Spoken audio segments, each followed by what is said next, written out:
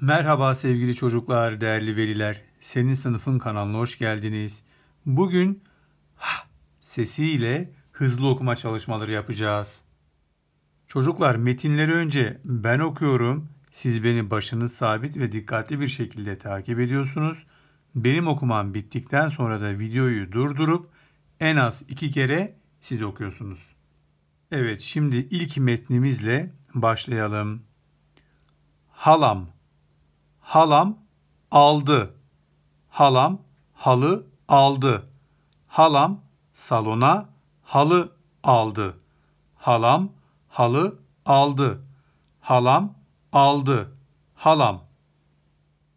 Çocuklar sesleri, heceleri, kelimeleri mümkün olduğunca ağzınızdan hızlı bir şekilde uzatmadan çıkarmaya çalışın.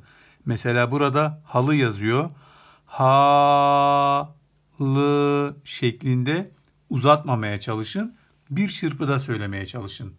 Hadi bakalım şimdi sıra sizde. En az iki kere okuyorsunuz. Okumanız bitti mi? Aferin size o zaman. Hemen ikinci metnimize geçelim. Yine beni dikkatli ve başınız sabit olarak takip edin çocuklar.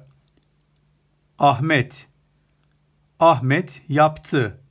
Ahmet maç yaptı.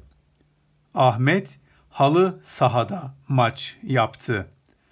Ahmet halı sahada arkadaşlarıyla maç yaptı. Ahmet halı sahada maç yaptı. Ahmet maç yaptı. Ahmet yaptı. Ahmet. Şimdi sıra sizde çocuklar. Biraz yorulabilirsiniz ama asla vazgeçmek yok, pes etmek yok. Mutlaka başaracaksınız. Hadi bakalım. Okumanız bitti mi? Aferin size o zaman. Böylece videomuzun da sonuna gelmiş olduk zaten çocuklar. Tekrar çalışması yapmayı unutmayın ve büyüklerinizin sözünden asla çıkmayın. Bir sonraki videoda görüşmek üzere. Kendinize iyi bakın. Hoşça kalın.